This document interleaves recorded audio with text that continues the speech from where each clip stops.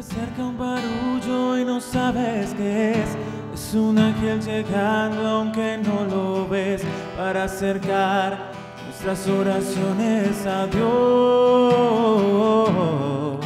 Sin más, abre el corazón y comienza a cantar que no hay gozo más grande que el amor celestial y los ángeles ya vienen a celebrar.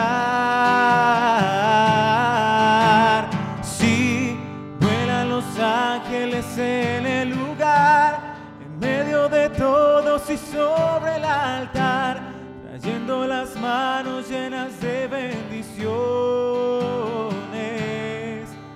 No sé si el cielo bajó, qué fue lo que pasó. Yo sé que está lleno de ángeles y, y que el mismo Dios está aquí. Mismo Dios está aquí. Y que el mismo Dios está aquí.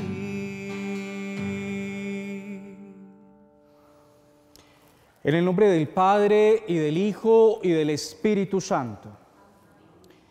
El Señor Jesús, que nació de la Santísima Virgen María, permanezca siempre con todos ustedes. Amigos de Televid, qué bueno podernos encontrar para celebrar la Eucaristía, este momento tan grande con su cuerpo, con su sangre, con su alma, con su divinidad. Qué bueno poder orar por cada uno de ustedes que se encuentran en sus casas. Le damos un saludo muy especial también a aquellos que están un poco enfermos, decaídos. Saludamos a todas las personas también que desde las cárceles de Colombia se unen para la celebración de la Eucaristía. Oramos por todos, por los que están prisioneros, pero también por aquellos que están secuestrados. Oramos por las personas que nos han pedido que oremos por ella, por los que han muerto, por las almas del purgatorio, por los que están agonizando. Hoy nos acompaña acá en la capilla de la Curia Arzobispal de Manizales el equipo de, servido, de servicios de equipos de Nuestra Señora. Con ellos vamos a celebrar la Eucaristía y oramos mucho por este movimiento, por tanto bien que hace a las familias en todo el mundo. Vamos a comenzar pidiendo perdón, reconociendo nuestros pecados. Amado Rey, amado Jesús, en la Sagrada Escritura tú nos dices que no quieres la muerte del pecador, sino que se convierta y viva. Nosotros estamos en un estado de conversión permanente. Todos los días nos damos cuenta de lo lejos que estamos de ti. Hay palabras, gestos, reacciones, olvidos, omisiones que demuestran nuestra lentitud para rendir toda nuestra vida a ti. Señor Jesús, ante tu presencia, venimos con un corazón arrepentido, no queremos ser orgullosos, sabemos que, que tú amas la sencillez, que tú amas la humildad y queremos nosotros hoy ser barro entre tus manos para que tú nos moldees, para que tú nos vayas haciendo. Como siempre te damos permiso para que tú nos corrijas, para que tú nos disciplines. Queremos recibir tu amor, queremos recibir tu misericordia. Digamos todos, yo confieso ante Dios Todopoderoso y ante ustedes hermanos, que he pecado mucho de pensamiento, palabra, obra y omisión, por mi culpa, por mi culpa, por mi gran culpa.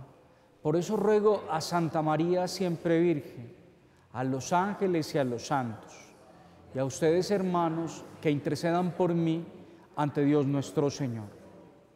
Dios Todopoderoso tenga misericordia de nosotros, perdone nuestros pecados y nos lleve a la vida eterna.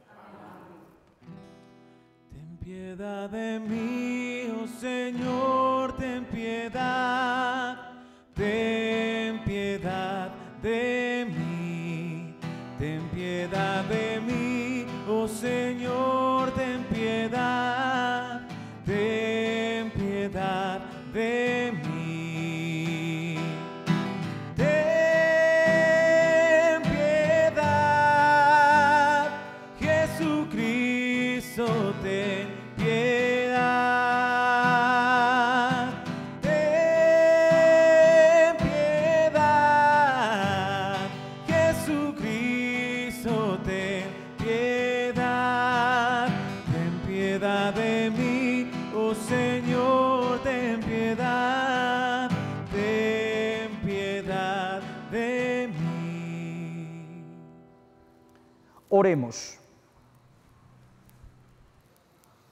Oh Dios, que elegiste como Madre del Salvador a la bienaventurada Virgen María, singularmente bendita entre las humildes y los pobres, concédenos que siguiendo sus ejemplos te tributemos el homenaje de una fe sincera y en ti pongamos toda nuestra esperanza de salvación. Por nuestro Señor Jesucristo, tu Hijo, que contigo vive y reina en la unidad del Espíritu Santo y es Dios por los siglos de los siglos. Nos sentamos y nos preparamos para escuchar la poderosa palabra de Dios. Lectura del libro de Baruch. Ánimo, pueblo mío, que llevas el nombre de Israel. Os vendieron a los gentiles, pero no para ser aniquilados por la cólera de Dios contra vosotros. Os entregaron a vuestros enemigos porque irritaste a vuestro Creador, sacrificando a demonios y no a Dios.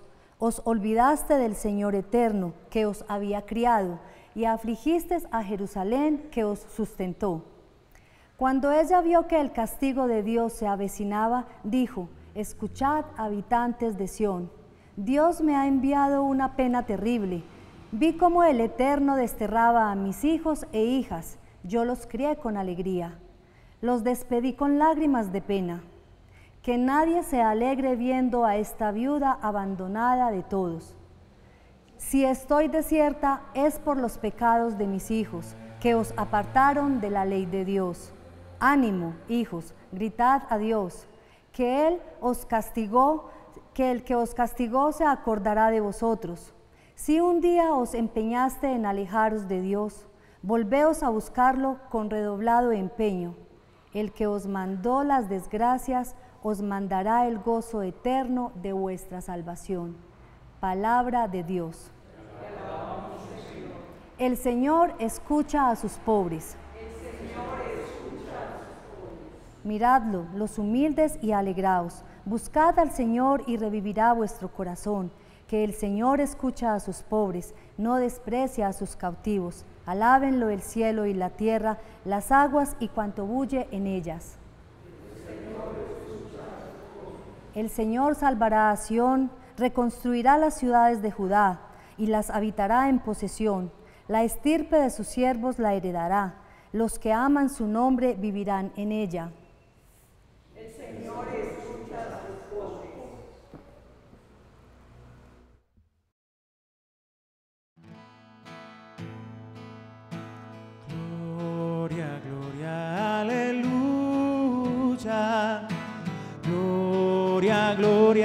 Aleluya.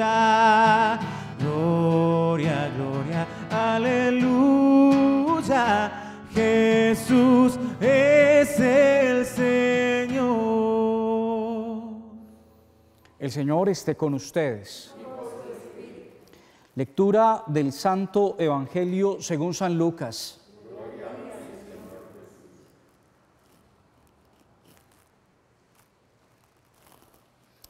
En aquel tiempo los 72 volvieron muy contentos y dijeron a Jesús, Señor, hasta los demonios se nos someten en tu nombre. Él les contestó, veía a Satanás caer del cielo como un rayo. Miren, les he dado potestad para pisotear serpientes y escorpiones y todo el ejército del enemigo, y no les hará daño alguno. Sin embargo, no estén alegres porque se les someten los espíritus. Estén alegres porque sus nombres están escritos en el cielo. En aquel momento, lleno de alegría del Espíritu Santo, exclamó, Te doy gracias, Padre, Señor del cielo y de la tierra, porque has escondido estas cosas a los sabios y entendidos y las has revelado a la gente sencilla. Sí, Padre, porque así te ha parecido bien. Todo me lo ha entregado mi Padre y nadie conoce quién es el Hijo sino el Padre, ni quién es el Padre sino el Hijo, y aquel a quien el Hijo se lo quiera revelar. Y volviéndose a sus discípulos, les dijo aparte, Dichosos los ojos que ven lo que ustedes ven, porque se los digo que muchos profetas y reyes desearon ver lo que ustedes ven y no lo vieron, y oír lo que oyen y no lo oyeron. Palabra del Señor.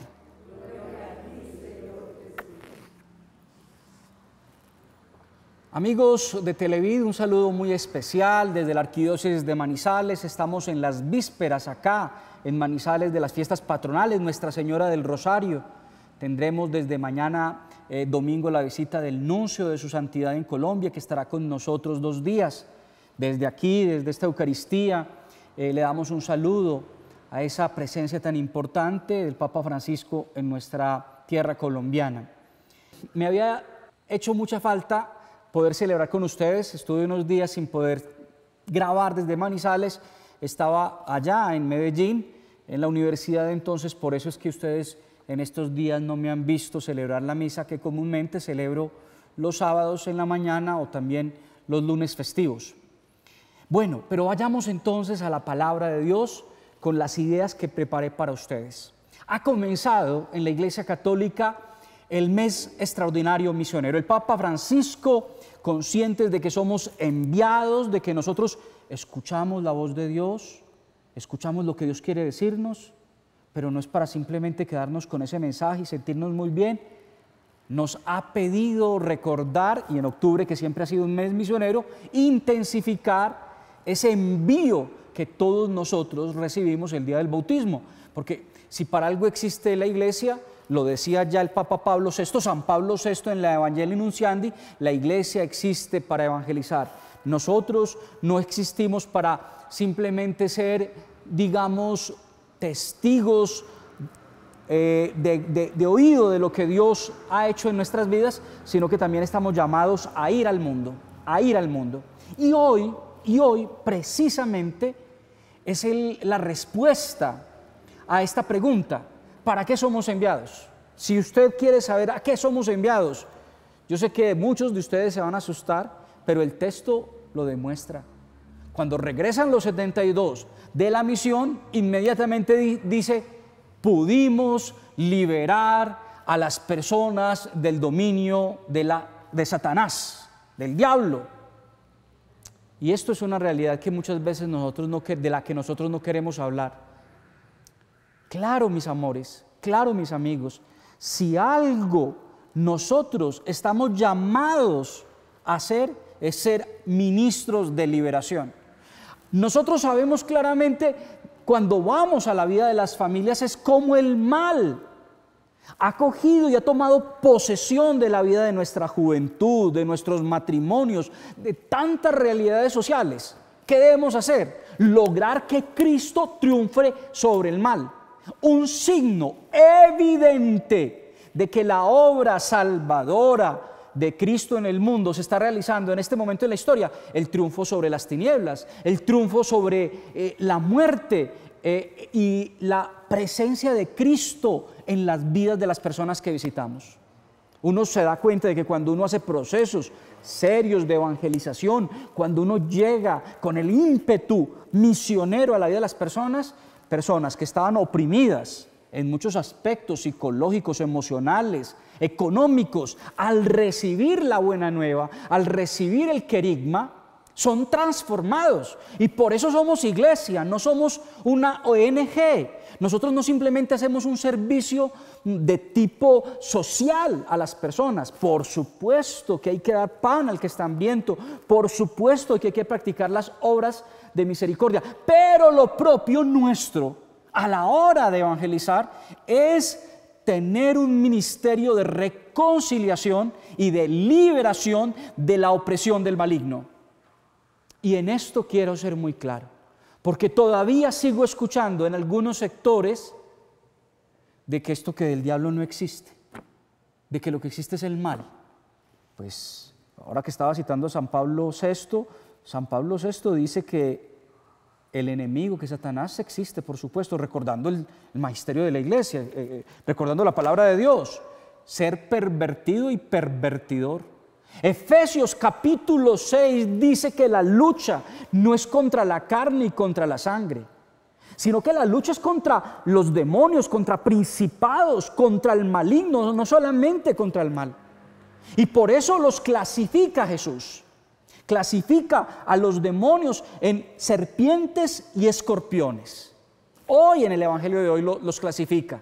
Entonces tenemos que ir con, con la certeza de que Jesús nos envía a un ministerio de liberación, de resurrección de personas que están postradas por la muerte y por el pecado.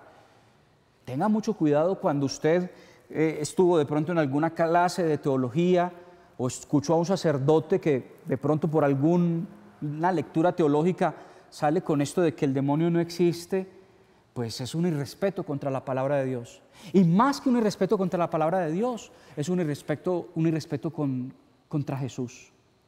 Porque ¿cómo nosotros que nos llamamos cristianos vamos a concebir el mundo distinto a como lo concibió Jesús? ¿Cómo veía Jesús? Jesús, de lo que vamos a hablar más adelante, Jesús, Dios con nosotros.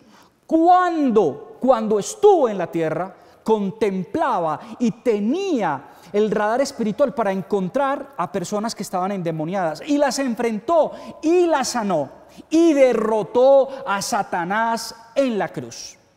Tengan mucho cuidado, porque uno, por de pronto vanidad intelectual o por soberbia o por dársela de muy ultramoderno, termina convirtiendo el mensaje del Evangelio en un mensaje sin la fuerza que tiene y hoy nos dice claramente de que la misión es la lucha contra Satanás. Tú vas armado en el nombre de Cristo en este mes extraordinario. ¿A qué voy? A donde me inviten, a donde vaya, a las misiones, a decirle a Satanás fuera de la vida de estas personas, a donde ha permitido que, se esté incubando el vicio, la maldad, tantas formas como nosotros llamamos a Satanás, la superstición, todo eso, pues le vamos a decir que ese lugar le pertenece a Jesús porque Él murió en la cruz, Él resucitó y Satanás ha sido vencido. Tengan mucho cuidado. Lo segundo, también, yo sé que mucha gente le fastidia que nosotros hablemos de Satanás y del demonio, porque también yo soy consciente de que hay ambientes donde a Satanás, al diablo, se le ve en todas partes. Entonces también es como una especie de publicidad innecesaria que se le hace a Satanás. No, no, no. Quien triunfa, quien reina, quien gobierna el mundo es Cristo. Tenga mucho cuidado. Yo se los dije en una otra homilía. Muchas personas conciben el mundo y la espiritualidad como una lucha entre dos fuerzas. Y entonces la fuerza del bien y la del mal, la fuerza del bien representada en Dios, la fuerza del mal representada en el demonio. Y es una lucha antagónica entre dos iguales. No, no, no, no, no. Por supuesto que no. Ya Cristo venció. Cristo es Rey de Reyes. Cristo es Señor de Señores. Ni el mal tiene poder conmigo. Romanos 8 nos lo recuerda. ¿Qué nos puede separar del amor de Dios? Nada, ni el hambre, ni la desnudez, ni la espada, ni el frío, ni los ángeles, ni los demonios nos podrán separar del amor de Dios manifestado en Cristo Jesús.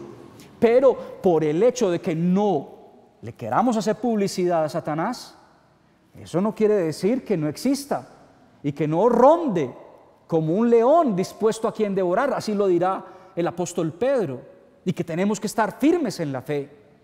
Todos nosotros, si somos creyentes, vemos lo que nos ha enseñado la iglesia. Yo tuve una discusión hace poco con un compañero sacerdote que me decía, sí, Satanás sí existe, Satanás sí existe, porque, porque, porque yo tenía una rivalidad con él, porque él decía, no, qué bobada de oraciones de liberación, qué bobada de hacer exorcismo, eso es fanatismo, eso no lo ha enseñado la iglesia. Y yo le decía, pues qué pena, pero lo que enseña la iglesia es que Satanás existe, así está escrito en la palabra de Dios. Entonces empecemos a arrancar partes de la Biblia donde habla del diablo, y entonces cambiemos, cambiemos el evangelio por un evangelio más cómodo, por un evangelio light.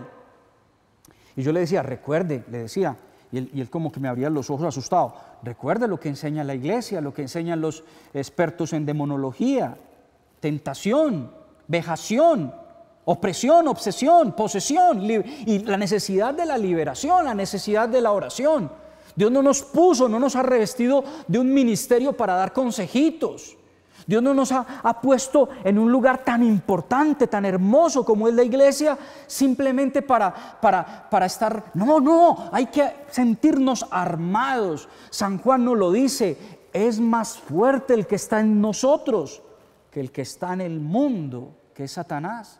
Armados, seguros de que Dios nos dio las herramientas, los instrumentos, nos ha dejado los sacramentos, la intercesión de la Santísima Virgen María para hacer lucha contra Satanás.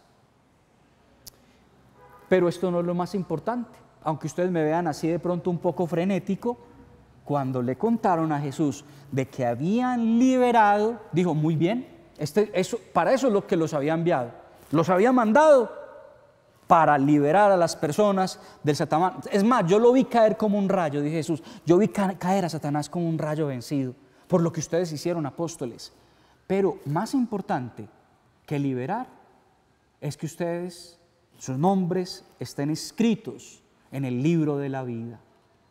O sea, más importante es lo que somos y la relación que tenemos con Cristo que lo que hacemos.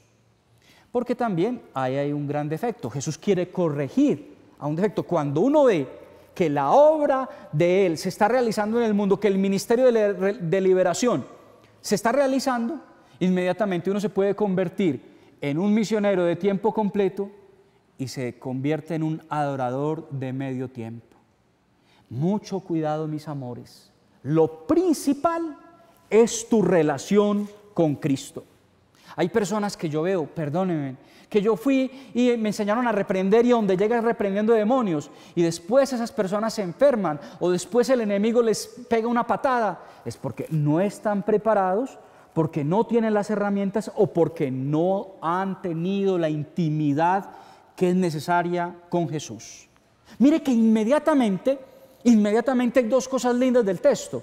Inmediatamente una oración al Padre. Esto no lo entienden los sabiondos.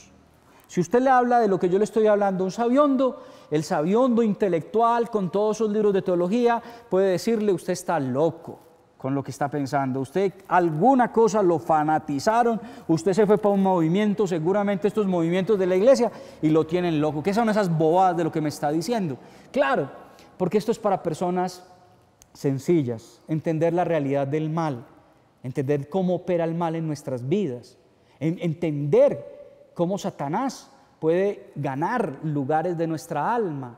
Eso es para personas simples, sencillas, que no tenemos tampoco eh, pues mucha capacidad de entender a veces tantas cosas raras que se inventan algunos teólogos de, yo lo llamo de escritorio, teólogos de escritorio, sentarse a escribir cosas de lo que uno puede interpretar fácil, pero vivir en la realidad del pueblo de Dios, en medio de las personas y ver cómo las personas son dañadas y oprimidas de tantas maneras, es cuestión muy distinta. Pero lo segundo, lo segundo, Jesús empieza a hablar de la relación que él tiene con el Padre. Y dice que él y el Padre son una sola cosa. Eso es lo importante en la vida cristiana. Más que uno ir a orar, a exorcizar, a ayudar a la liberación, es cómo es tu relación personal con el Maestro. Hay muchas personas que han encontrado los ministerios como una forma de evadir la íntima comunión que tienen que tener con el amado. Primero la comunión con Cristo, primero mi revisión de vida. Miren, hay un texto fuertísimo de unas personas que vieron liberar a los apóstoles. Y entonces dijeron, ah, pues si es en el nombre de Jesús, nosotros podemos también liberar. Y se fueron y se metieron en una casa a liberar a una persona que estaban endemoniados. Los demonios les dieron una pela y los mandaron desnudos para la casa. No lo olvide, estoy insistiendo, intimidad con Cristo. Eso es lo primero, intimidad. Es que, mis amores, uno nunca va a poder llevar a una persona a una montaña que uno no haya escalado. Camine para el, Everest, los voy a invitar para el Everest. Padre, usted es alpinista, usted, usted, no, ni siquiera un, cerro de aquí de Manizales, ni siquiera lo he subido, no, no, no soy alpinista, yo cómo voy a guiar a una persona si yo no tengo esa experiencia. Entonces, primero, enamoramiento de Cristo, intimidad, momentos con Él, con la lectura de la palabra de Dios. Eso es lo más importante Ya vendrá la misión y si el Señor a mí me da un carisma, yo lo pongo al servicio de la iglesia. Mucho cuidado, porque muchas veces las personas piensan que los carismas son santidad. No. Los carismas ayudan a construir la, vida de la iglesia, ayudan a edificar la comunidad. Pero hay personas que reciben un carisma y ese carisma ya cree que es como, eh, eh, como una coraza que no va a permitir que uno caiga. No, no, los carismas no son santidad. El Señor puede, y casi siempre así lo hace, ustedes lo han visto. Uno está lleno de defectos, uno está lleno de cosas por mejorar y Dios le da a uno, a uno unas cositas que, que le ayudan a que el pueblo de Dios crezca. Pero uno no se puede ufanar del carisma como con ese carisma yo voy a llegar al cielo. No, yo voy a llegar al cielo si verdaderamente estoy unido al Padre. Eso es lo más importante. Comunión, intimidad, enamoramiento, fidelidad. Y de ahí ya viene toda la fuerza para ir a luchar y a combatir el mal en el mundo.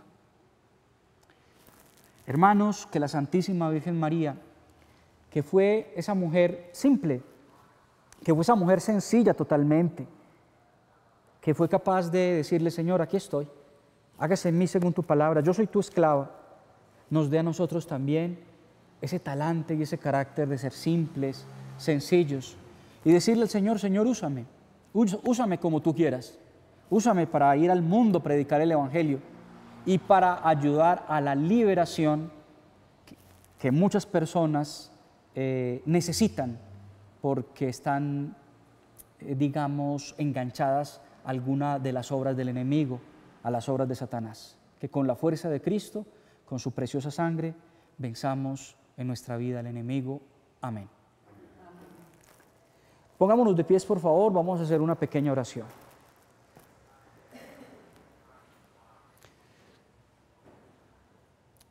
Amado Padre, en esta Eucaristía de sábado, queremos presentarte nuestras vidas y decirte que si en algún área personal de nuestra vida hay alguna contaminación espiritual, pues que tú, ven, tú vengas en este momento con, con tu amor a conquistar ese lugar, esa vida. Ven, ven con el fuego de tu amor, Señor, a reinar. Señor, yo quiero que mi mente, que en mis emociones, que en mis sentimientos solamente domines tú, que seas tú reinando. Señor, ven con la fuerza de tu amor, con la fuerza de tu espíritu a reinar en mi vida. Señor, de como lo como se hace en algunos en algunas ceremonias como la vigilia pascual, yo hoy quiero renunciar a Satanás, renunciar a todas sus obras, renunciar a todos sus encantamientos, a todas sus promesas, a todo pacto que consciente o inconsciente haya yo hecho con Él. Señor Jesús, ven a reinar en mi vida, que tú estés en mi mente, que tú estés en mi corazón, que tú estés en mis labios que tú estés siempre delante de mí, detrás de mí, a mi lado Jesús. Jesús a mi derecha, Jesús a mi izquierda, Jesús en toda palabra que sale de mi boca, Jesús en todo pensamiento, Jesús en lo que hago, en lo que digo, en cómo me divierto, en cómo hablo con mis amigos. Jesús, Jesús, Jesús. Amén.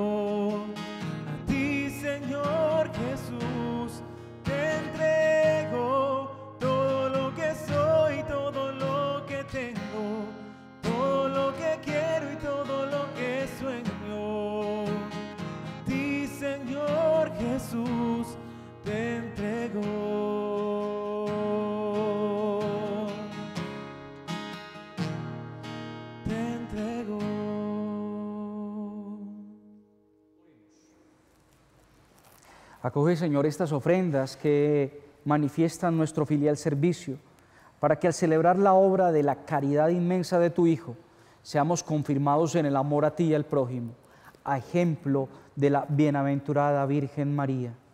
Por Jesucristo nuestro Señor. El Señor esté con ustedes. Levantemos el corazón.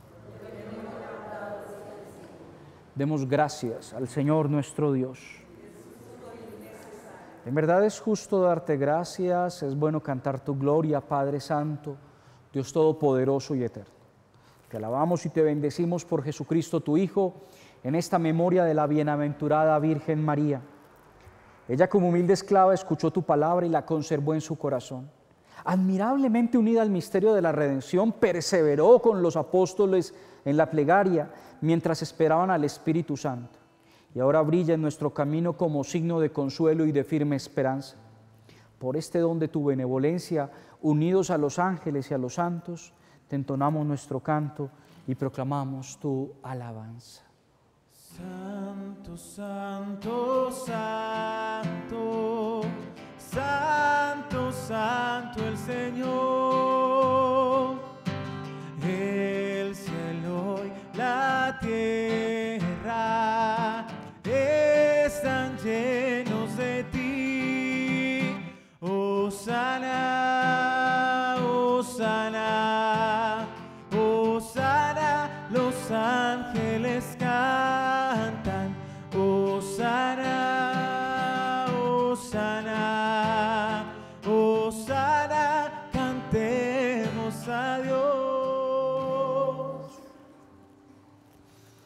Santo eres en verdad, Señor, fuente de toda santidad.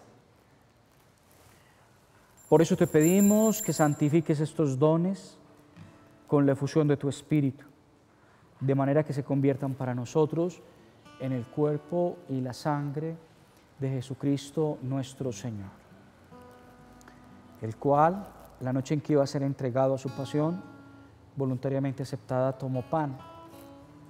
Dándote gracias, lo partió y lo dio a sus discípulos, diciendo, tomen y coman todos de él, porque esto es mi cuerpo que será entregado por ustedes.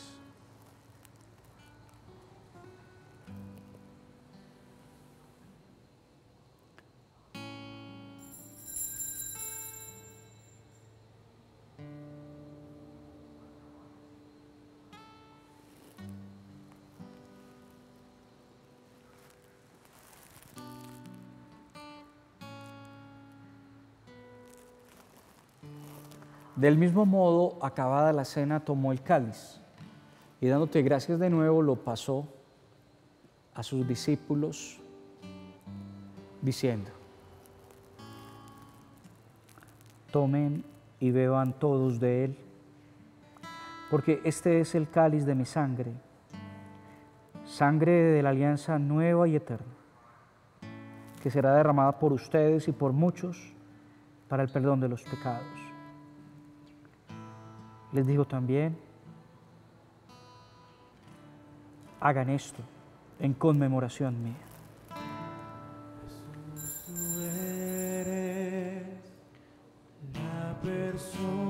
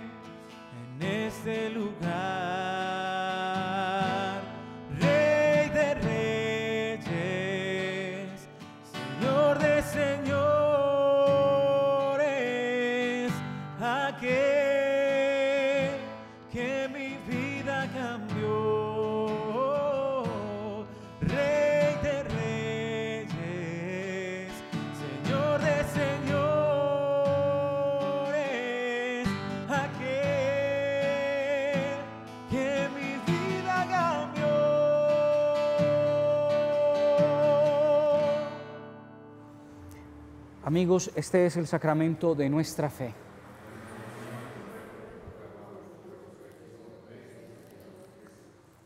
Así pues, Padre, al celebrar ahora el memorial de la muerte y resurrección de tu Hijo, te ofrecemos el pan de vida y el cáliz de salvación y te damos gracias porque nos haces dignos de servirte en tu presencia. Te pedimos humildemente que el Espíritu Santo congregue en la unidad a cuantos participamos del cuerpo y sangre de Cristo. Acuérdate, Señor, de tu iglesia extendida por toda la tierra. Y con el Papa Francisco, con nuestro obispo Gonzalo, y todos los pastores que cuidan de tu pueblo, llévala a su perfección por la caridad. Acuérdate también de nuestros hermanos que durmieron en la esperanza de la resurrección y de todos los que han muerto en tu misericordia. Te presentamos muy especialmente a los equipos de Nuestra Señora, a cada uno de los matrimonios que trabaja diariamente por la constitución de matrimonios santos, sólidos, a imagen tuya, Santísima Trinidad, a imagen de María, de José y de Jesús. Y a cuantos vivieron en tu amistad a través de los tiempos, merezcamos por tu Hijo Jesucristo compartir la vida eterna y cantar tus alabanzas.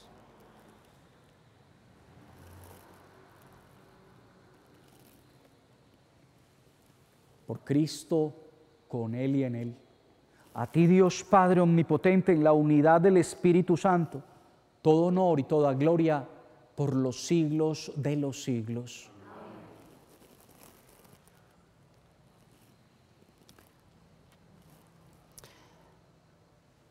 Es tan necesaria la lucha contra el mal que en la misma oración que Jesús nos enseñó se dice al final que, que seamos libres del ataque del maligno.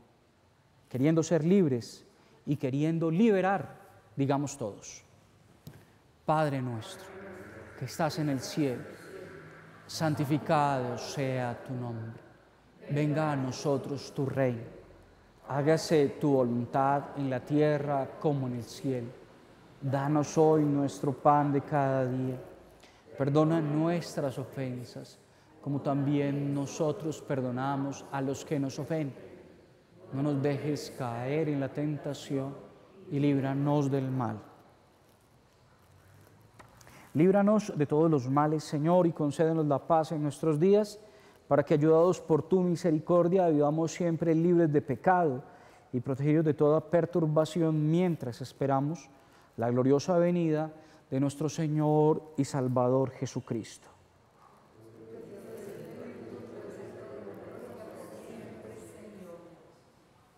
Señor Jesucristo, que dijiste a tus apóstoles, la paz les dejo, mi paz les doy. No tengas en cuenta nuestros pecados, sino la fe de tu iglesia. Y conforme a tu palabra, concédenos la paz y la unidad, tú que vives y reinas por los siglos de los siglos. La paz del Señor esté siempre con todos ustedes. Con mucho cariño vamos a compartir el saludo de la paz.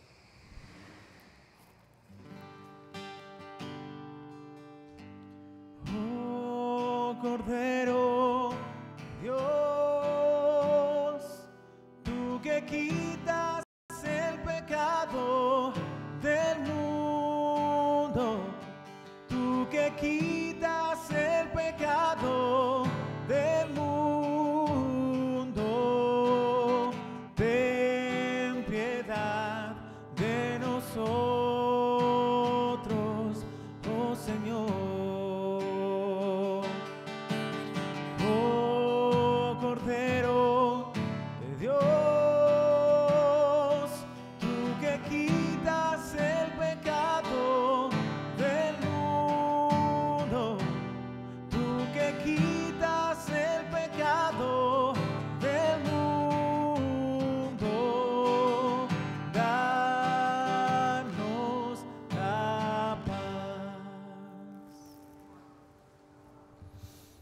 Amigos, este es Cristo, el Cordero de Dios, que quita el pecado del mundo. Dichosos los invitados a la cena del Señor. Señor, no soy digno de que entres en mi casa, pero una palabra tuya bastará para sanar.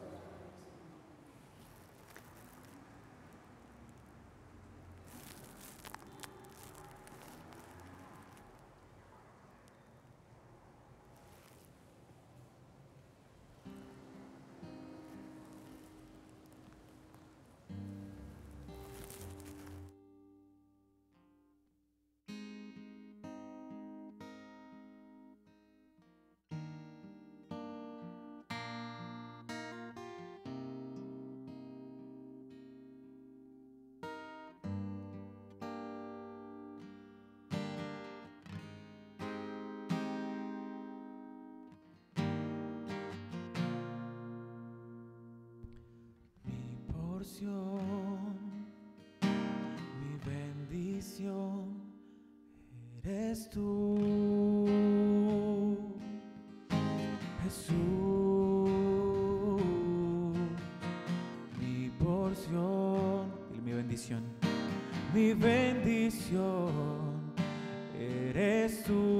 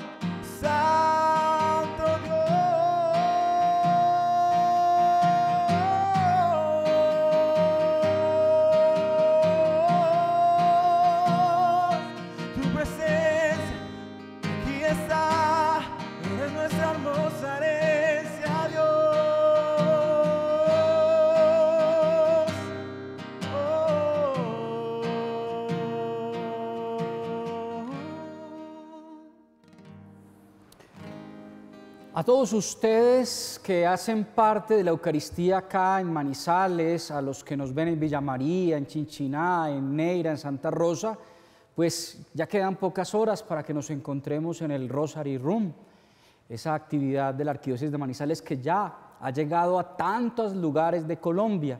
Todos los días lo llaman a uno sacerdotes eh, o laicos que quieren en sus parroquias o en sus diócesis llevar esta experiencia tan linda de rezar el Santo Rosario en una de las, digamos, avenidas más importantes de la ciudad, con jóvenes, con alegría, con, con la- el gozo de Cristo en nuestras vidas. Esta noche a las 7 en el sector de Las Palmas nos encontramos, todavía nos quedan algunos pequeños kits eh, que trae la camiseta, que trae la mochila, la manilla, el Santo Rosario, para poder sufragar los gastos del Rosario Run. Entonces, allá nos vemos para acompañar a nuestra Madre María, orar por tantos motivos que tenemos que orar, orar por la iglesia, por nuestra conversión, por el Papa y por este mes extraordinario misionero. También para los televidentes de la ciudad de Bogotá, mañana hay Congreso del Espíritu Santo de la Comunidad María Mediadora. Allá estaré, estaré en el Rosarierón esta noche y mañana muy madrugado salgo para Bogotá para el Congreso del Espíritu Santo de la Comunidad María Mediadora. Será en la sede de la Asociación María Santificadora. Ustedes conocen muy bien, la mayoría. Allá estaremos todo el día clamándole para que el Espíritu Santo nos llene de su presencia, de sus dones, de sus carismas. El Señor esté con ustedes.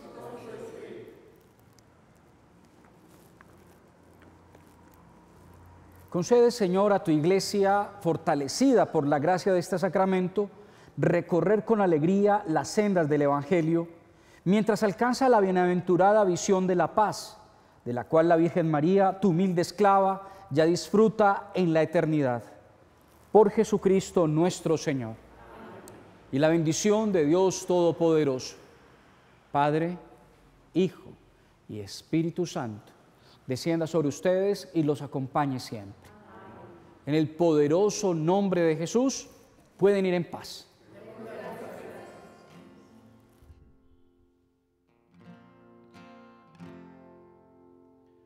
Madre María, Madre preciosa, abre mi corazón.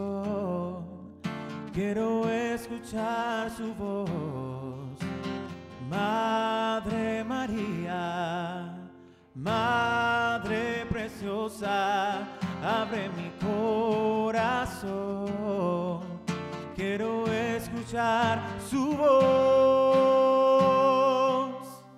Quiero amarle con todas mis fuerzas. Quiero hacer su voluntad. Quiero entregarle toda mi vida. Quiero servirle más. Quiero amarle con todas mis fuerzas. Quiero hacer su voluntad. Quiero entregarle toda mi vida. Quiero servir